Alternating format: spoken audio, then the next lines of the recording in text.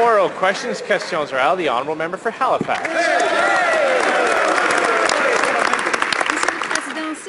Mr. Speaker, this morning, before forcing the Ethics and Access to Information Committee to go in camera, the Prime Minister's Parliamentary Secretary opposed the NDP motion to delve into the matter of the Benjamin Perrin emails deleted by the Privy Council office, who, in the Conservative government, ordered the Parliamentary Secretary to behave in this fashion. Minister of Foreign I understand the uh, committee in question uh, was meeting in camera, so I wasn't uh, aware of what was uh, going on. I can say uh, this, uh, Mr. Speaker, the Privy Council office has taken responsibility for the technical, even inadvertent problem with respect to the emails in question. At the moment the mistake uh, was brought to our attention, we immediately informed the uh, relevant authorities. Good point. The honourable member for Halifax. Well, I can tell the minister that Conservatives went in camera because they were scared of an NDP motion to investigate the deleted emails. Before the Conservatives shut out the public, the member for Oak Ridges Markham said that no investigation was necessary. Well, does the Prime Minister share this view? Does he believe, like his parliamentary secretary, that no investigation is needed into how the government handled these missing emails? Mr. Speaker, it's uh, uh, a fact that the Privy Council office has taken uh, responsibility uh, for this issue. The honourable member for Halifax. Well, we started this scandal with a conservative cover-up, and today the cover-up continues. Conservatives, they evaded questions, they misled the public, and they kept crucial information secret. If conservatives really don't think that an investigation is necessary into what happened to Ben Perrin's emails, then why don't they just give Canadians a little bit of accountability, maybe an early Christmas gift? Why don't they actually release all the relevant emails to the public today? The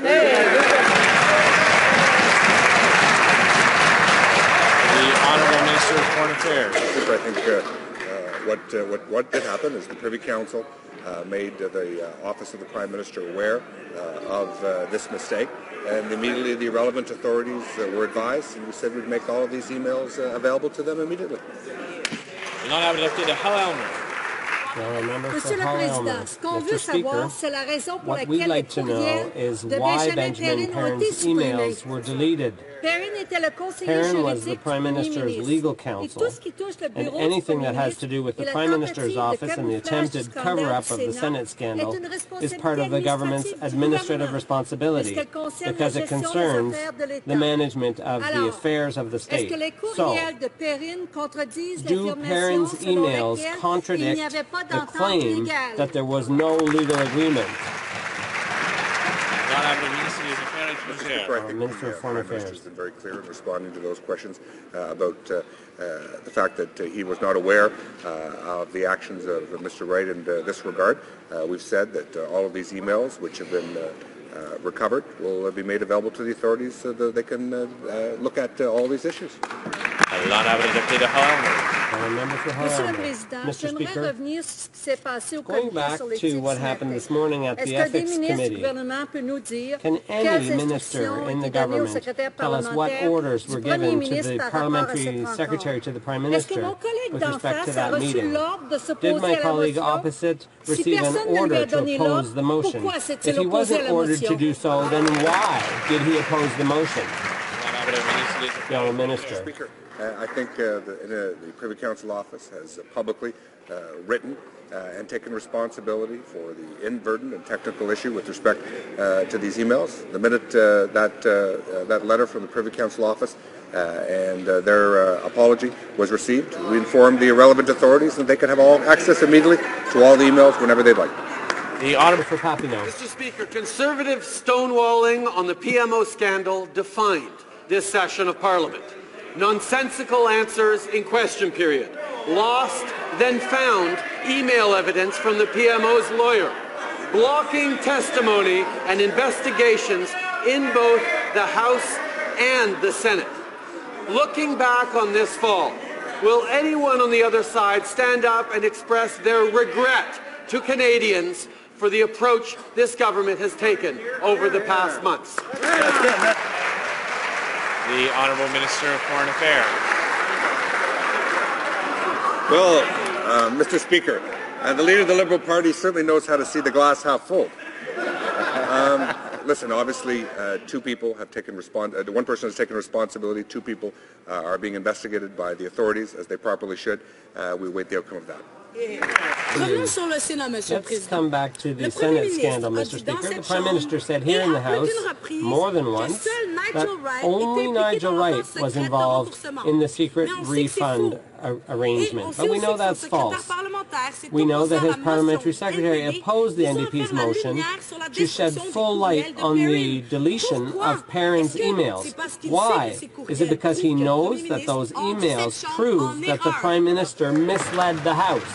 Honorable Secretary The Honourable Parliamentary Secretary. Well, uh, of course, Mr. Speaker, that's just a bunch of rubbish. Uh, the uh, committee has, uh, of course, uh, made no decision. Uh, they are still debating this uh, right now, Mr. Speaker. The committee made the decision to go in camera when the NDP chair seemed to lose control because the NDP members, the NDP members seem to uh, find it more interesting to point of order themselves than to actually deal with the motion that was on the table, Mr. Speaker. It was amazing, amazing how uh, how much debate got uh, done once the cameras were off, Mr. Speaker. And uh, the committee will make its own decision with respect to that going forward. Honorable Deputy. The Honourable Member.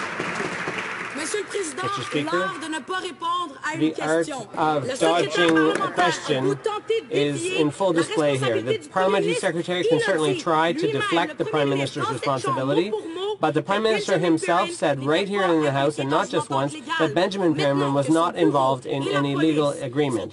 Now that his office and the police are in the possession of Perrin's emails, which had mysteriously disappeared and now resurf- resurfaced, can any member of the government now tell us what Perrin's actual involvement was in this scandal? The Honourable Parliamentary Secretary. As I've said uh, on a number of occasions, uh, the Privy Council, as soon as they found out uh, that these emails were available, uh, they made them uh, available to the RCMP, Mr. Speaker.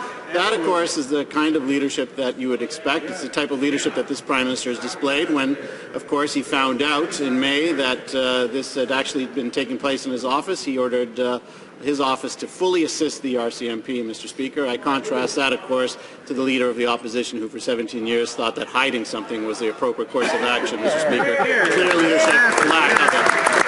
Honorable Deputy Pierre The Fondela. Honourable Member for On se demande vraiment ce qu'il y a dans ces courriels, Monsieur le We're really Président. Parce que curious est-ce about que les what's in conservateurs those se sentent à emails, ce point Mr. Speaker, menacés because the qu'ils essaient de Conservatives are s'opposer à la apparently tenue d'une very enquête threatened, sur so courriels threatened qui ont that they mystérieusement opposed disparu a study into temporairement, these, the mysterious il y a pas si disappearance and resurfacing est-ce que le of these emails. rendre public When le is the contenu de ces government finally going to juridique du Premier disclose the Quand, Monsieur le content of those emails, Mr. Speaker? Honorable Parliamentary Secretary. Uh, of course, uh, Mr. Speaker, the committee is still uh, considering the uh, the uh, the motion that was brought forward. But uh, as I said, uh, Mr. Speaker, these uh, emails. Uh, uh, as soon as the Privy Council office found uh, that these emails had been put into a, a separate file that had been sequestered, they made those immediately available to the RCMP uh, uh, for them to review, Mr. Speaker. Honorable Deputy réponse d'un Speaker, ministre? could Parce I have an qu'après answer tout, from ce a scandale-là, minister c'est quand même une affaire d'erreur de This responsabilité scandal is, administrative du after all, a gouvernement. matter of the Est-ce qu'un ministre administrative donc pourrait me responsibility of the confirmer government. si les So courriels could a de Benjamin minister Perrin confirm contiennent quelque that information Benjamin ce soit Perrin's emails compromettante pour le Premier contain ministre? absolutely no information information quelconque qui that's pourrait compromettre le compromising to the Prime oui ou non? Minister? Is there any minister willing to answer this question? Yes or no? The Honourable Parliamentary Of course, Mr. Secretary. Of course, Mr. Speaker, our ministers uh, have been working extraordinarily hard, not only on this, but on all kinds of different files, Mr. Speaker. That's why a million net new jobs have been created in this country. That's why the Minister of National Defense is busy making sure that our forces have the equipment they need. That's why the Minister of Justice brought forward a Victims' Bill of Rights. That's why the Minister of Sport is undertaking the Pan Am Games. That's why the Minister for Public Safety is making sure that our forces have the equipment that they need, Mr. Speaker. That's why the Minister of Natural Resources is making our resources available. The Minister of International Trade, the free trade deal, Mr. Speaker. I could go on and on and on.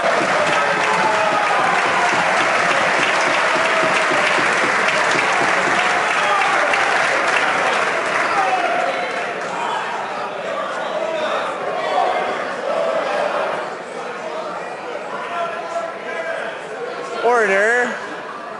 Order. The Honourable Member for Hamilton Mountain. Once the Prime Minister claimed Ben Perrin was not involved in a legal agreement, but the RCMP proved that wrong. The Prime Minister then claimed no one except Nigel Wright knew about the deal. But RCMP documents proved that wrong too. So, Mr. Speaker, is there any other information about this cover-up that the Conservative government would like to share with Canadians before the RCMP releases more details? The Honourable Parliamentary Secretary, Member House Leader. Of course, uh, of course, Mr. Speaker, uh, uh, the uh, RCMP indicated that the Prime Minister, of course, uh, as soon as he found out, ordered his office to assist the RCMP so that they had all the information that they needed uh, to uncover what had happened. Mr. Speaker, the Prime Minister also said that had he known, he would have in no way accepted such an agreement, Mr. Speaker. Again, I contrast that to the Leader of the Opposition, who, uh, when given the opportunity, Mr. Speaker, 17 years ago to admit that he had been given or offered a bribe, uh, decided to tell nobody, Mr. Speaker. He waited until 2011 to tell anybody that he had been offered a bribe, Mr. Speaker. That's not really the type of leadership Canadians expect, and that's why he's in opposition. The Honourable Member for Timmins, James Bay. Mr. Speaker, this politically wounded Prime Minister and his parliamentary secretary are having a hard time keeping the lid on. This morning at the Ethics Committee, the parliamentary secretary forced out the media from hearing a motion on studying Ben Perrin's mysteriously disappearing emails, emails that were hidden from the RCMP for six months. Now, if everything's on the up and up, why cover up such shambolic handling of police evidence? If there's nothing to hide, why not just allow the investigation? The Honourable Parliamentary Secretary to the Prime Minister. Uh, well, Mr. Speaker, uh, as I said, the committee is obviously still reviewing this motion, but uh, the uh, the NDP uh, chair seemed to be losing control when NDP members started point of ordering themselves on committee, Mr. Speaker. That didn't seem to be an effective use of the committee's time, uh, Mr. Speaker. We had three other motions that we had to uh, discuss at the same time, Mr. Speaker. What is clear is this, is that the RCMP have uh, stated that the Prime Minister uh, insisted that his office assist with them, provided all the information that is needed, Mr. Speaker. That's real leadership. Also on page 72, the uh, documents clearly outline that the Prime Minister uh, had no knowledge of what was going on. As the Prime Minister said, had he known, he would have put a stop to it. Mr. Speaker, for eight months, Canadians have been demanding answers about the Wright Duffy affair.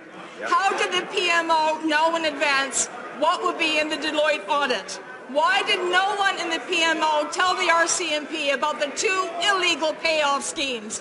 Why do the staffers involved still hold on to their government jobs? Will someone on the government side give Canadians an early Christmas present and answer even one of these questions? The Honourable Parliamentary Secretary to the Prime Minister. Uh, of course, Mr. Speaker, we, uh, we, we know what time, what time it is, uh, or, excuse me, what time of year it is uh, when we get silly questions like that, Mr. Speaker. Uh, uh, the reality is this, the RCMP are investigating this, Mr. Speaker. The RCMP have identified that it's Nigel Wright and Senator Duffy who are the subject of the investigation. The RCMP have identified that the Prime Minister did not know what was uh, what was being undertaken. The RCMP have also uh, highlighted the fact that the Prime Minister uh, ordered his office to work with and assist the RCMP, providing as much help as they could to help the RCMP get to the bottom of this, Mr. Speaker. The RCMP are investigating. We'll let them do their job.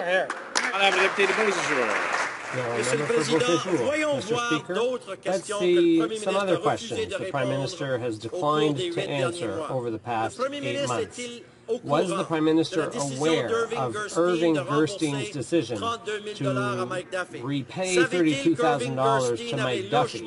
Did he know Irving Gerstein had inappropriately contacted one of his conservative cronies at Deloitte? Did he instruct his ministers to hire his former staffers who were involved in this scheme? Would the government now give Canadians the gift of an answer to at least one of these questions?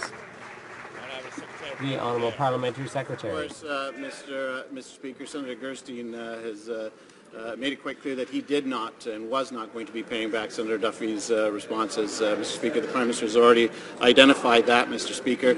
With respect to giving Canadians a gift, uh, uh, it's hard to take that party serious when uh, the person who we most look to this year to give gifts, including my daughters, Mr. Speaker, that gift from Santa Claus, all of a sudden the Liberals are suggesting that Santa Claus is no longer Canadian and that they would abandon the North Pole, Mr. Speaker. They would abandon the North Pole, abandon Santa Claus.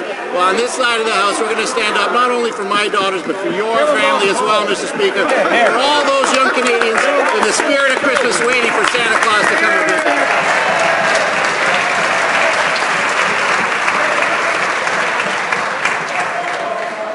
The Honourable Member for Wascana. Oh, Mr. Speaker, the Prime Minister claims his ethics scandal is confined to just two miscreants, Duffy, the greedy senator, whom the Prime Minister once called his best appointment, and Wright, the great deceiver, whose ethical advice the Prime Minister praised in his book on hockey.